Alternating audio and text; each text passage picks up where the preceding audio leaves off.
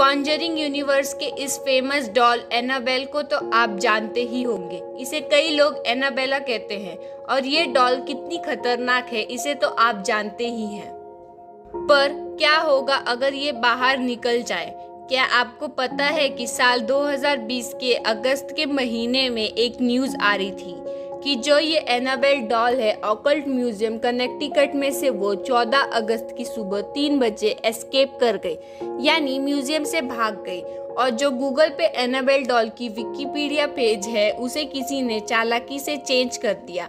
और उस Wikipedia page पे लिखा था कि सुबह तीन बजे एनाबेल डॉल अचानक से कहीं भाग गई। जब दुनिया भर में लोग ये बात सुन रहे थे, क्योंकि ये ऑफिशियल विकिपीडिया सोर्स से आ रही थी तो सबके अंदर चिल्स आ गया था।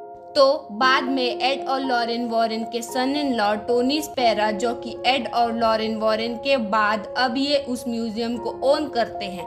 उसके मालिक है। उन्होंने इस बात को क्लियर करते हुए एक वीडियो अपलोड किया कि ऐसा कुछ नहीं है। ह्यूमर इतना फैल गया था कि उनको खुद ये क्लियर करना पड़ा।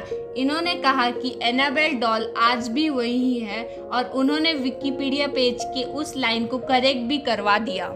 उन्होंने ये भी कहा कि यहाँ हाई सिक्योरिटी सिस्टम भी मौजूद है और किसी को चिंता करने की ज़रूरत नहीं है। बट बाय चांस अगर वो निकल गई, किसी चोर ने अगर चोरी के मकसद से उनको चोरी करके निकाल दिया, क्योंकि वो इतनी वैल्यूएबल है, इतनी फ़ेमस है तो अगर ऐसा हुआ तो पता नहीं क्या होगा।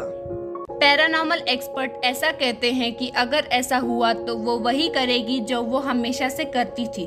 उसको उस ग्लास में बंद करने के पहले वो जब बाहर थी, जब वो अपनी जगह से गायब होके कहीं और चली जाती थी। और ऐसी कितनी किस्से आपने सुनी होगी, ऐसी भी कई घटनाएँ हो चुकी है जिसमें कोई इंसान उसके ग्लास पे ऐसे मार मार के उसका मज़ाक उड़ा रहा था।